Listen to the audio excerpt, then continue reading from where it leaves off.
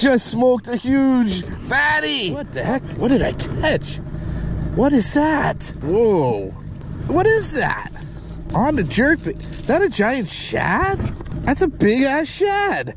That's exactly what that is. That is a giant gizzard shad. Woo!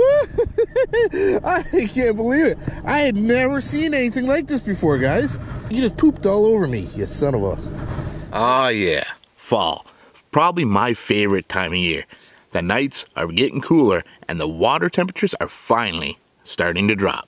And the fish are once again getting active. Bait fish are on the move, and to me, fall is all about bait fish.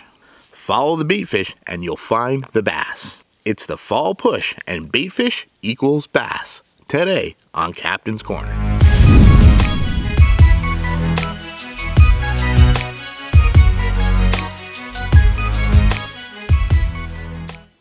It's been a long, hot summer, but relief is finally here. That summer heat made things tough for all of us.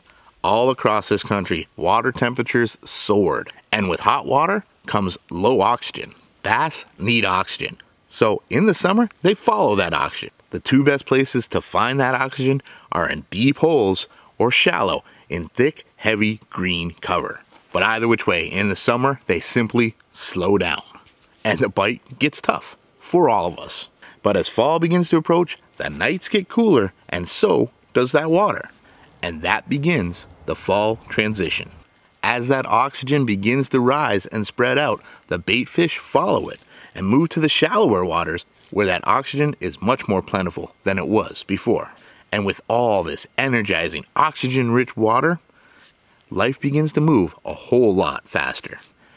Bait fish are incredibly predictable and they follow this pattern to a T. And after a long, slow summer, those bass are entirely focused on fresh, active bait fish. Follow the bait fish and you'll find the bass. So here's the best methods I use to find and imitate those bait fish to catch big, hungry fall bass. I can see a bunch of smaller things like shad or something popping at the surface out here.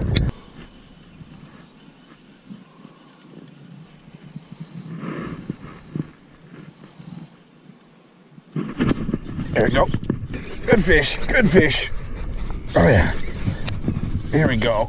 Ah, nice bass. Oh yeah, he's a tank. Oh yeah. Yeah. Woo! On the chatterbait. Yeah, baby, there's a beauty. Woo! Yeah. On the chatterbait, baby. Ha ha. Yes, look at that. Another one of my, my favorite transition lures, the chatterbait. Got me a beautiful, beautiful bass here. What a beauty. He was right up in that grass. I just got it right on the edge and he smashed it. Awesome. Awesome. Let's let that go. Nice. Woo! In early fall, there is still plush, thick cover, grasses and weeds. Most baitfish will be in that cover, feeding on algae, bugs, planktons, the stuff that grows in those weeds. And it's also protection, or so the baitfish are programmed to believe. That's why my first early fall focus is always on those shallow grasses and weeds. For two reasons. Number one, there is always bass up shallow, all year long, but especially in the summer.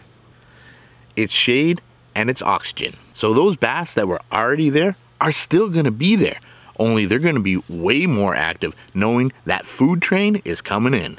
Number two, so are all the other bass. Those summer deep water bass, those fish that chose to follow the oxygen down to deeper water, the oxygen has moved up and spread out the bait fish have pushed into that shallow cover and the big deep water bass are stacking up along the edge of that cover, facing in, ready to charge in and attack all those feeding bait fish.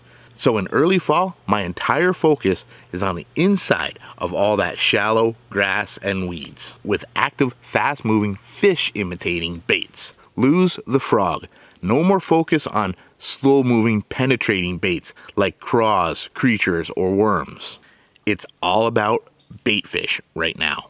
And to me, that screams soft plastic paddle tail swim baits. Burn over the top and through all that shallow cover. Oh, Jesus! He came out of the water. Oh, he's little. Guys, he doesn't look very big. But he's hungry. Come on, you can eat it. You're hungry. Remember it was all dying. That, that, That was a better one. no, I think it's the same one. yeah, that's why he's got a big old belly on him. He's a hungry little bugger. Gone for that paddle tail again. Small mouth, big belly. There it is. A six inch bait and a 10 inch bass. I find lightly weighted swim bait hooks with a screw lock keeper work perfectly. They come in all sorts of sizes and weights. What hook you use depends entirely on what swim bait you choose to use. You want to make sure that there's enough hook to penetrate through that entire swim bait. And you really don't want a lot of weight here. 1 16th of an ounce or in around there is probably plenty. You're mostly going to be burning these swim baits across the surface over top of those weeds and grasses where you can expect some incredible explosions this time of year. There's a huge variety of soft plastic paddle tail swim baits out there. Which bait you choose to use, that's entirely up to you. I have my favorites, but that's not what this show is all about. So grab your favorite swim baits. Don't be afraid to try different sizes. Bass in the fall are feeding heavy on their favorite bait fish. Whether it's shad, bluegill, shiner, or a mix of the bunch, find what bait fish they're preferring, and that's how you choose what colors to use. Match the hatch the best that you can, but no matter what, make sure it looks like a fish. Oh my god! Do you see that? Yeah. I got him too. Yeah. that, that was crazy. Oh, dude, is he decent? Yeah. Yeah, he is. Actually, he's really nice, Ted. he hit that as soon as it landed in his mouth. Pretty much. Dude, there's a good one. Skinny. Big old head. That's, I mean, he's got a head of a four pounder. Oops. Catch a small one with the tiny mouth and the big belly. Mm-hmm. Here's a big one with a giant mouth and a tiny belly. One of the better fish we've seen today, though. He's probably only about two, two and a quarter pounds. Should be four. Right on, right on. Whoosh. As we push farther into fall, those water temperatures continue to drop. Those thick grasses and weeds will start to die off and thin out slowly. Dying vegetation depletes the oxygen in the water around it. And that vegetation starts to die off from shallow to deep. The lesser oxygen levels also stop the growth of what those bait fish were in there feeding on in the first place. So the bait fish begin to push out of that cover. Again, following that oxygen. Now they will start to school back up and cruise along the outside edges of all that cover, where there is still plenty of oxygen and food to be found. And you guessed it, the bass are gonna follow suit. Those shallow bass will be just inside of that cover, facing outwards, waiting to ambush those schools of baitfish as they cruise on by. And those deep water bass, they're gonna be stacking up just outside, facing towards that cover, waiting to corral those baitfish up against the edge of the cover. This stage in the transition can be wild. The bass and the baitfish are going to be moving fast. The pace of the baitfish and the bass picks up, and so do I with my presentation. Lipless crankbaits, jerk baits, square bills, and chatterbaits, even swim jigs. Working that outside edge of the cover and working it fast. Follow that baitfish, imitate that baitfish, and find big feeding fall bass.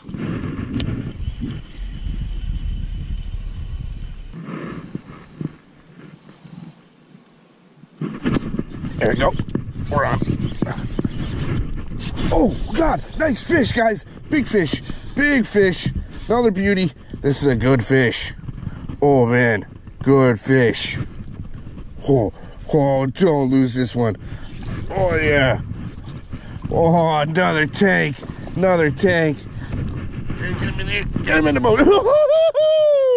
yeah!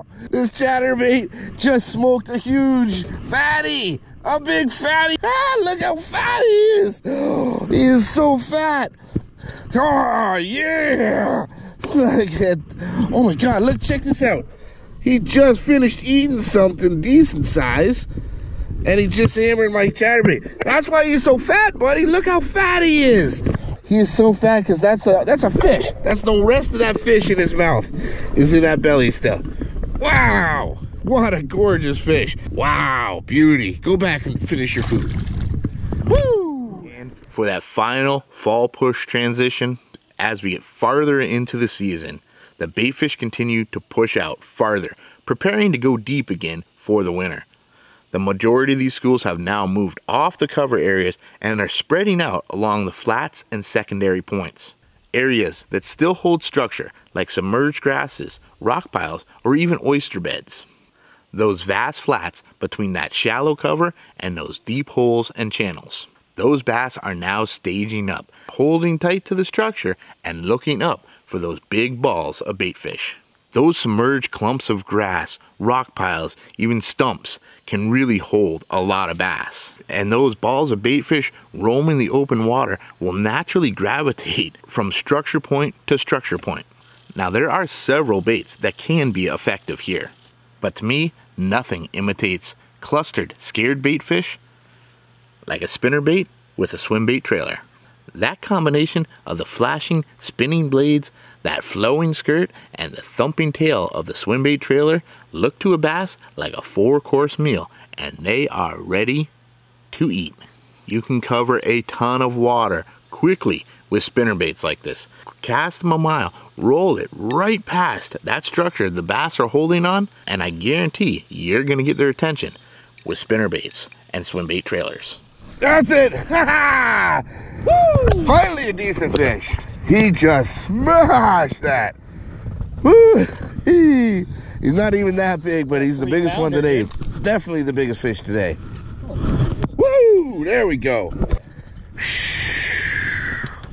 Beauty. That's awesome. Here, Beauty. He hammered that thing.